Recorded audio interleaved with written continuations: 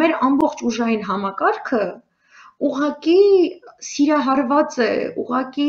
ծնկներից թուլանում, գետնին է ընկնում թուրք գործընկերների հետ աշխատելիս Ազերի գործընկերների հետ աշխատելիս տարբեր մայրաքաղաքներում շարունակաբար նույն աղքի ղեկավարը, նույն պաշտպանության նախարարության համակարգի կարևոր գործիչներ, վարչապետի վերջապես Մակարդակով ինքը իր այսպես կոչված կինը բոլորը թուրքական հատուկ ծառայությունների ներազդեցության տակ են գտնվում եւ իրենք հանձնելով անհնազանդ Արցախահայերին առհասարակ անհնազանդ հայերին, սա քրդական սցենարն է։ Քրդերն էլ հանձնեցին իրենց շարքերում անհնազանդ քրդերին, որովհետև իրենց ասել էին՝ դուք թուրքերի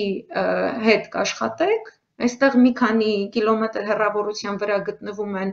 ամերիկյան զորամիավորումներ, ամերիկյան ռազմաբազաներ Քուվեյթում, Իրաքում։ Եթե թուրքերը իրենց խելոք չպահեն, մենք կգանք ձեզի պաշտպանություն եւ այլ եւ այլն,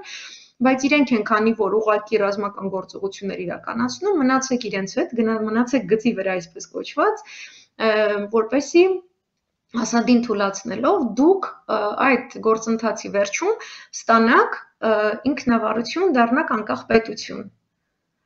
Իսկ մեր դեպքում ինչու են եղած ինքնավարությունը եւ սուվերենությունը եւ անկախությունը անընդհատ իրենք նվազեցնում, որպեսի մեզ համոզեն, որ մենք Թուրքի հետ աշխատենք։ Սա ուկրաինական սցենար չէ, սա հայոց ցեղասպանության այս դարաշրջանի этаպն է։ Մեզ ոչ մի հետաքրքիր գեղեցիկ իրադարձություններ չեն սպասվում այս առումով։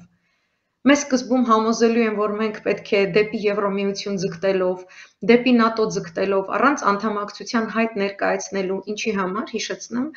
ուղակի բաց տեքստով պայքարում է Վրաստանը,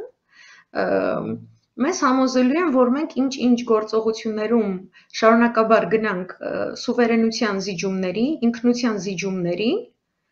եւ համագործակցենք ՆԱՏՕ-ի ինստրուկտորների տված որոշակի ազդակներով եւ բնաջնջվենք այս ձևով, որովհետեւ սրա հաջորդ սցենարը քրդական համայնքների հետ տեղի ունեցած Սիրիայում ենթադրում է շարունակաբար թուրքական կողմից դիվերսիաների իրականացում հերթով բոլոր շրջաններում Հայաստանի,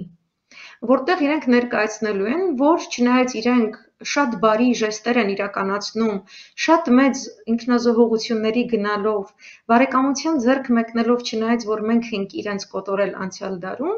հայերը շարունակում են ունենալ անհնազանդ խմբավորումներ, նրանք շարունակում են մեր դեմ զենք բարձրացնել, այնտեղ չգիտեմ, կարող են այդ ընթացքում մեղադրել ասել, որ Իրանն է այս խմբավորումների ձեռքը զենք տվել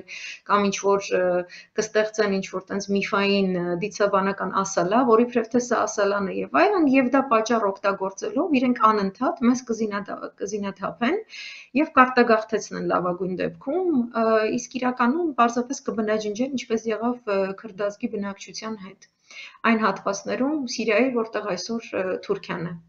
Սա է մեզ սպասվում։